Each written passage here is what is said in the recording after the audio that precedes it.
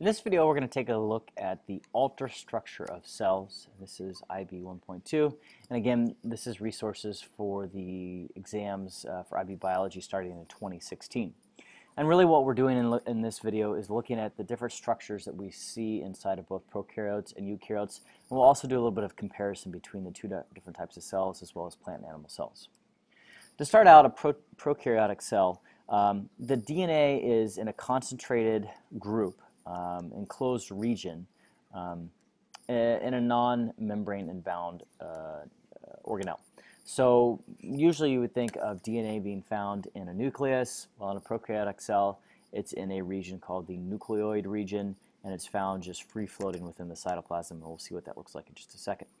It doesn't have a true nucleus or membrane bound organelles. It's very much simpler in structure than a eukaryotic cell and some examples would include bacteria and archaea. Um, they don't have compartments or um, a lot of uh, organelles to be able to do things.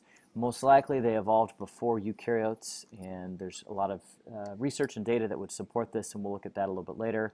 They're usually quite small in size, about 1 to 3 microns, and they can be found pretty much everywhere. Uh, they are literally almost, well, pretty much in every environment on the planet. We're going to take a look at some of the different structures that you would see. Prokaryotes have cell walls. They have a plasma membrane. Um, they have a nucleoid region, so that's where the DNA is. It's a, it's a kind of a clump of the DNA together.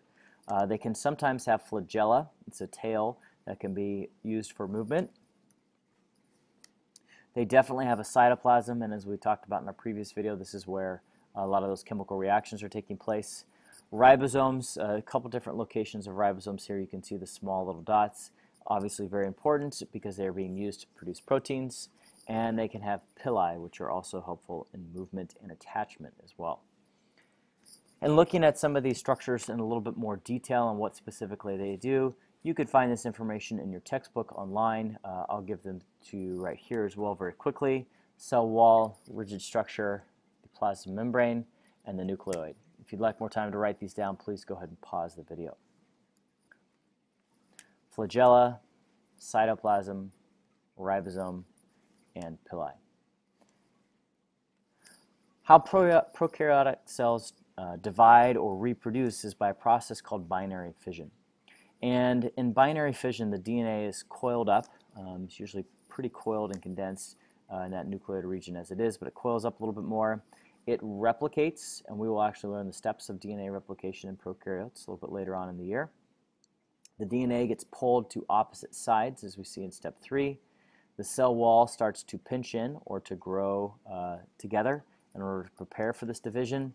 The cell wall actually divides, causing the cell to divide, and we end up with two cells that are exactly the same, meaning that they have the same DNA because that DNA was copied, um, has the same uh, copies of ribosomes, plasmids.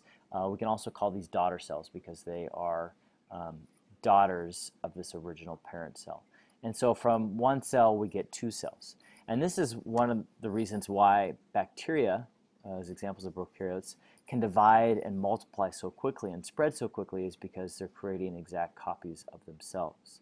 Um, and really what prevents them from continuing to overtake the planet is availability of resources, and that would also include space. If you've ever grown bacteria on agar plates, you'll probably have noticed that they grow very quickly at first, and then as time goes on, that growth and expansion slows because one, there, there's less and less nutrients available in that agar, and also less and less space.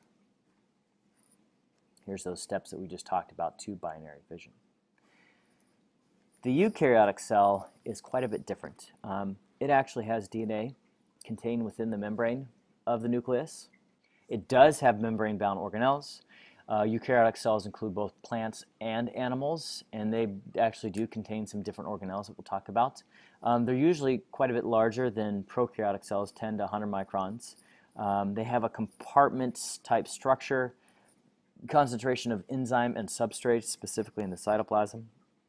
Um, they also have some organelles uh, that can help to keep uh, potentially damaging substances or waste separate from the rest of the cell. Um, they are able oftentimes to maintain their internal environmental conditions and uh, the organelles within the cell themselves can also move. So let's take a closer look at some of these different organelles. We have the nucleus, which is different than the prokaryotic cell. Nucleus is where that DNA is actually kept. The nucleolus, the rough endoplasmic reticulum. You can also see sometimes smooth endoplasmic reticulum. And the difference between the two is rough has ribosomes attached. The smooth does not have ribosomes attached. The Golgi apparatus, ribosomes again, mitochondria, extremely important, and lysosomes. Um, again, we'll go through these uh, different organelles pretty quickly. Go ahead and pause the video if you want time to write these down. The lysosome, the nucleus, the nucleolus, the rough ER, the Golgi apparatus, a ribosome, and mitochondria. Now, in looking at similarities and differences between prokaryotes and eukaryotes, a lot of these we've already talked about. Um, include some examples. One of the things that's new here is the size of the ribosomes. Prokaryotes have ribosomes that are 70S, whereas eukaryotes have ribosomes that are 80S. And it's really just the, the size of the ribosome. Um, ribosomes are made up of rRNA, as we'll talk about and learn about a little bit more later, as well as some proteins, and so it's the size of the ribosomes. They do have a number of things in common, uh, cytoplasm, ribosome, DNA, and plasma membrane, and those are things that we talked about that all cells have uh, back in video 1.1. Now, eukaryotic cells can be found as either plant or animal cells and they definitely have some differences uh, between them. And some of the biggest differences, or the, the most pronounced difference, is the shape of these cells. Plant cells have cell walls, and as a result, they have a very rigid uh, outer structure. Animal cells are a more rounded shape. They don't have a cell wall, so they're able to, to uh, move or, or change shapes slightly, and so they're more bendable or flexible because they uh, don't have that cell wall, and as a result, result they're usually more rounded or oval shaped. One of the other big differences between plant and animal cells is plant cells have chloroplast. And chloroplasts are the organelles that actually um, go through the process of photosynthesis in order for plants to produce their own energy, sugar. And we'll learn about that process a little bit later. Animal cells lack that. And so as a result, animals have to ingest their energy, uh, eat energy from another source, whether it be plants or another animal. Um, one of the other major differences between plants and animals is plants have a central vacuole. You can actually see it rather well in this video or in this image right here. This central vacuole can be used to store um, usually water, um, but it can also store food or waste sometimes. And they usually almost always have a large central vacuole, but they can also have other small vacuoles. Animal cells do have vacuoles, but they're much smaller and they don't have a single pronounced large central vacuole. Something that animal cells have that plant cells generally do not, something called a centriole, and this helps with the division of the, of the animal cell. Um, lysosomes, as we previously talked about, is another organelle that's usually just found in animal cells, sometimes in plant cells, but not as common. Um, and so those are some of the big differences between plant and animal cells, um, and those are outlined here as well. So that is it for uh, 1.2 and looking at uh, prokaryotes and eukaryotes and plant and animal cells. If you need additional information, your textbook is a great place to turn to. They have some nice images and descriptions of these different organelles in even more detail, uh, as well as there's lots of resources online as uh, in addition to my website.